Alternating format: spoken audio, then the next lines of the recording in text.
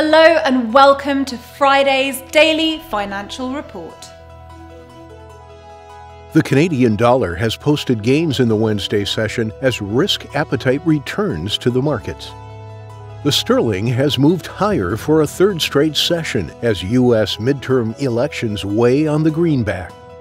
Crude oil prices have fallen for seven consecutive sessions, making for the worst losing streak in 20 months.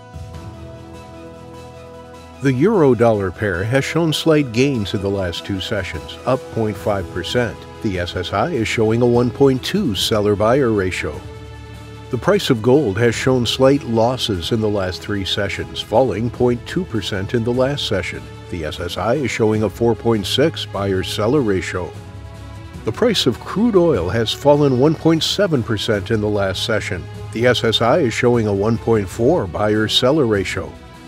The Aussie dollar pair has shown slight gains in the last two sessions, up 0.8%. The SSI is showing a 2.4 seller buyer ratio. The U.S. Michigan Consumer Sentiment Index will be released at 1500 GMT. The UK Gross Domestic Product at 930 GMT. The U.S. Producer Price Index at 1330 GMT.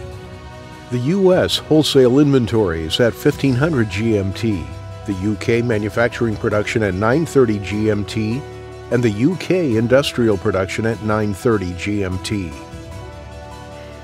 We hope that you've enjoyed Friday's market outlook. On behalf of all of us here, we wish you a productive trading day.